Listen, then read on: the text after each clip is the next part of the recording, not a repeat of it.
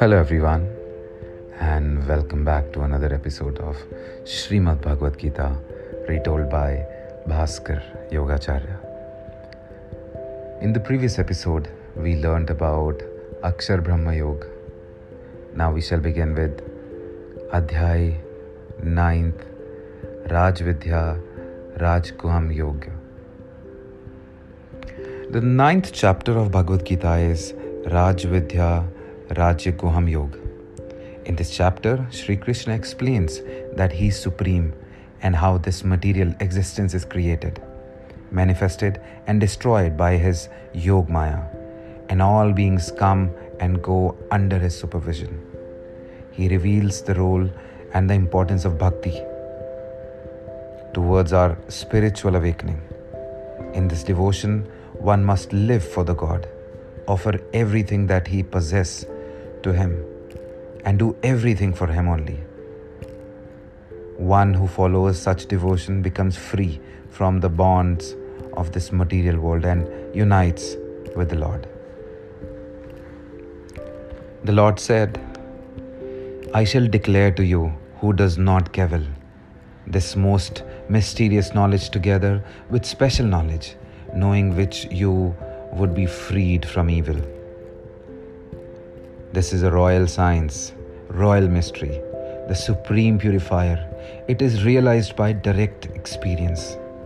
It is in accord with Dharma. It is pleasant to practice and is abiding.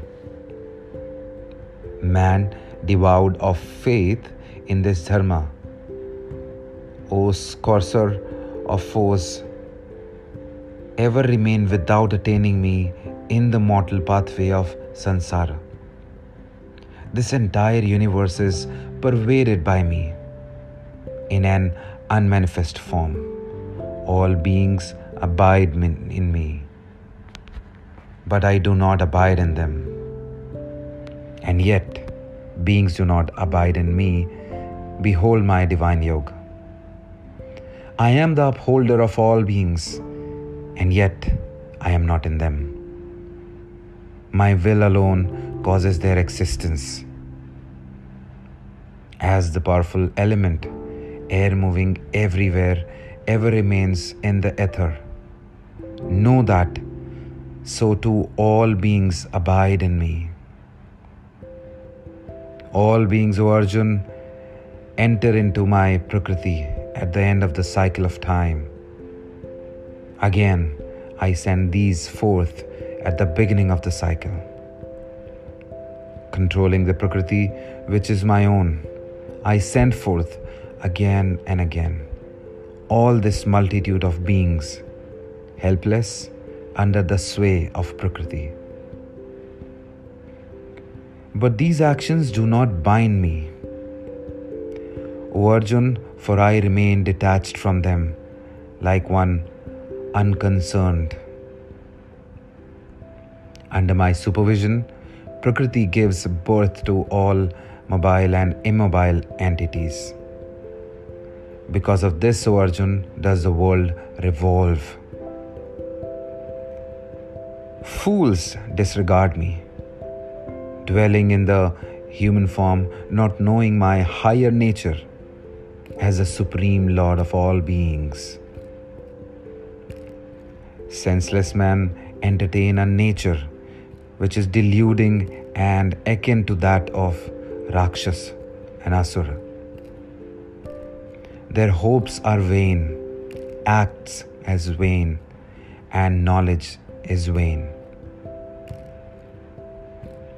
But the great souled ones, O Arjun, who are associated with my divine nature, worship me with unwavering mind, knowing me to be the immutable source of beings, aspiring for eternal communion with me, they worship me, always singing my praises, striving with steadfast resolution, and bowing down to me in devotion. Others, too, besides offering the sacrifice of knowledge, worship me as one, who characterized by diversity in numberless ways is multiformed in my cosmic aspect. I am the Kratu. I am the sacrifice. I am the offerings to the manes. I am the herb. I am the mantra. I am myself, the clarified butter. I am the fire. I am the oblation.